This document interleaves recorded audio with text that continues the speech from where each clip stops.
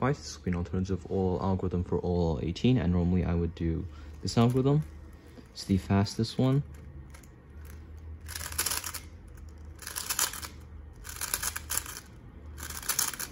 And you could also do the U prime over here with left index if you want, but pushing it is technically faster because avoiding reloads.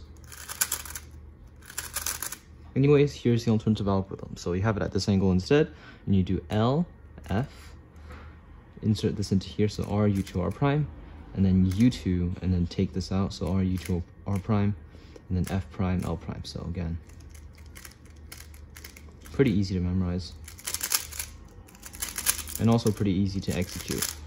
Here you can do thumb F prime if you want, but I find left index to be better.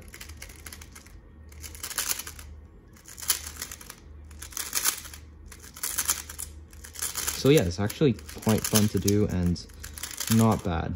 So starting a home whip, it'll look like this. You can kind of just regrip during this F. There's actually two moves to regrip since you have an FR.